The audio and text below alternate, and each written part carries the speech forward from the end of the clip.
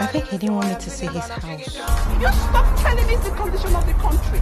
Don't tell me to calm down. If I get job, fine. If I no get job, oh, well, I no fit kill myself. Where's my food now? Everything is wrong with it. You want me to believe that you went to night field? Or maybe he's hiding something. You have started. Why will I not start? I have resigned from my job. You resigned from your job. You what?